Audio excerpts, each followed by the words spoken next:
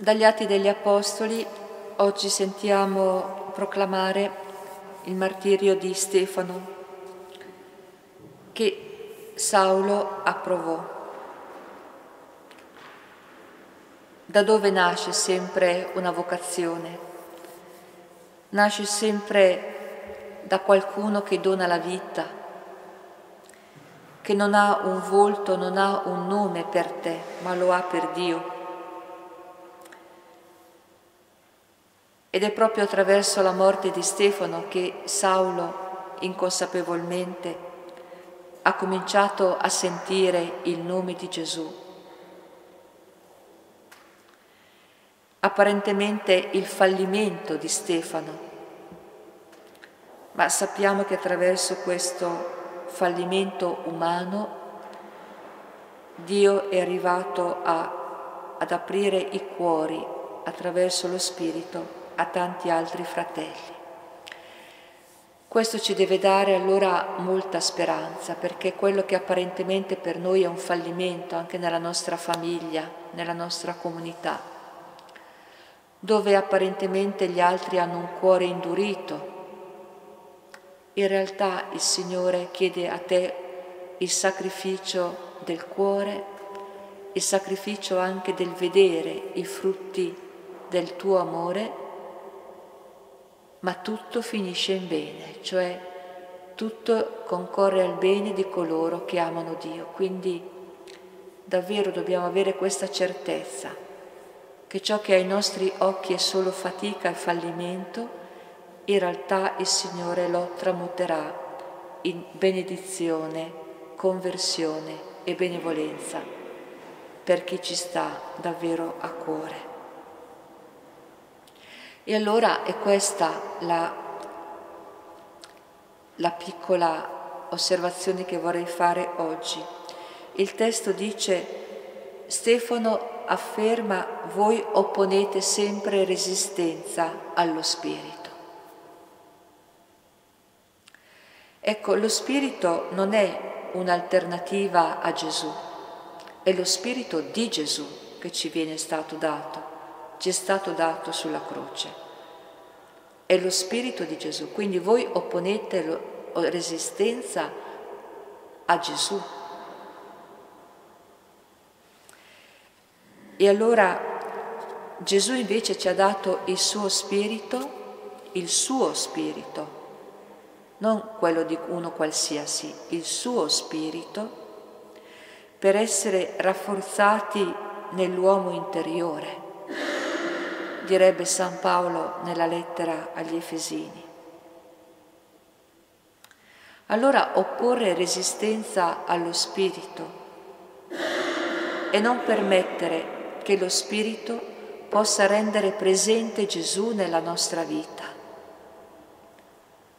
Possa dire Gesù quello che è bene per la nostra vita.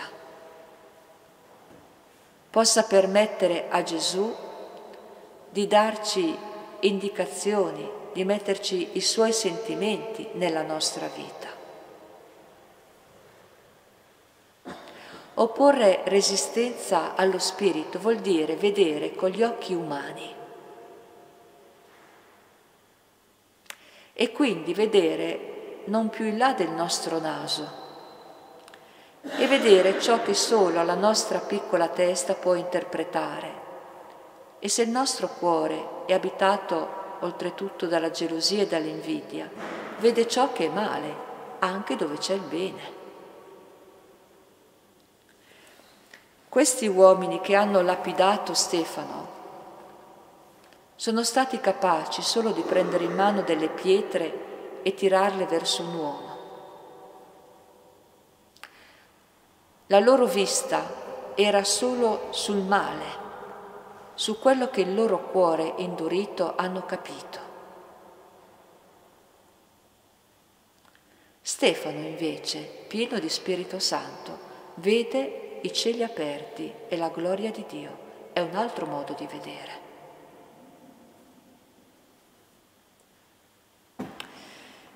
E allora la domanda è questa. Io sono abitato dallo Spirito di Dio. Perché se io sono abitato dallo Spirito di Dio, vedo oltre. vedo il cielo aperto, vedo il Signore, vedo il bene. Ma se io non sono abitato dallo Spirito di Dio, io vedo solo quello che la carne mi dice.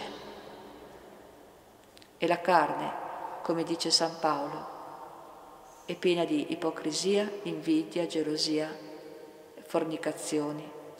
Ecco, l'elenco di San Paolo. Allora vedete che il discernimento è facile da fare.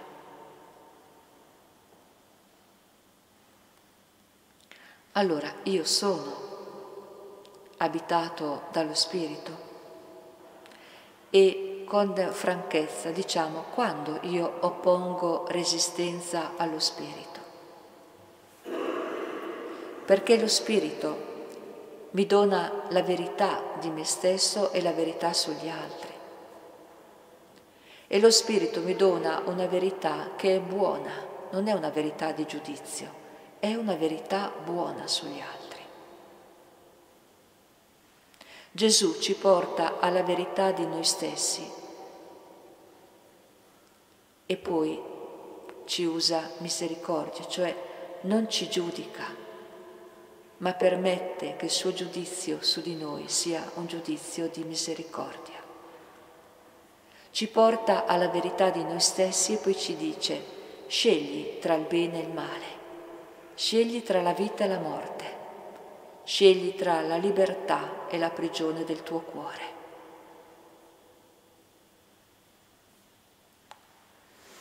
E allora oggi noi ci possiamo chiedere, ma Stefano era proprio un uomo, come dire, infatuato di Gesù? Un uomo che si è lasciato così facilmente prendere, lapidare. Ha detto un, tante belle cose, ma poi, oppure la fortezza di Dio abitava il cuore di Stefano. Ha detto ciò che era la verità, ha raccontato la storia della salvezza a questi uomini e loro davanti a questo hanno deciso di lapidarlo. Ma noi possiamo decidere di ascoltarlo E allora anche noi diventeremo uomini spirituali, donne spirituali, cioè abitate dallo Spirito, che non oppongono resistenza alla voce di Gesù in noi. Quali sono le situazioni in cui io oppongo resistenza allo Spirito? Quali sono le situazioni concrete della mia vita, della mia famiglia, della mia comunità, dove io oppongo resistenza allo Spirito, perché continuo a leggere la storia con i miei occhi e non con gli occhi di Dio. Ma non vedremo mai i cieli aperti e non vedremo mai la gloria di Dio.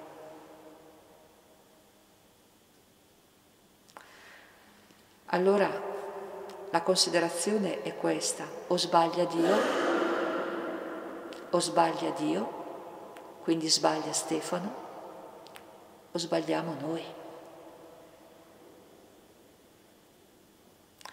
Saulo è rimasto a guardare. Apparentemente non è cambiato nulla nel suo cuore. Deposero i mantelli ai piedi di Saulo che approvava. Cioè c'è sempre un momento nella nostra vita in cui noi possiamo iniziare male, come Paolo. Possiamo anche noi approvare il male, come Saulo. Ma poi lo Spirito di Dio che tutti i giorni viene in noi, abita in noi, può davvero, davvero aprire una breccia per il Signore e quindi cambiarci il cuore come l'ha cambiato in Paolo. Non gettiamo le armi, non continuiamo a dire sono fatto così. Si può cambiare, come lo Spirito ha cambiato Saulo. e come ha cambiato anche il cuore di Stefano, perché non è diventato santo tutto in un colpo, martire tutto in un colpo. C'è stato un cammino di docilità, di apertura allo Spirito. Ecco perché può dire voi opponete sempre resistenza allo Spirito, perché anche lui è passato dall'opposizione alla docilità dal tenere in mano la sua vita a consegnarla a Dio. Questo è quello che la risurrezione permette anche a noi oggi.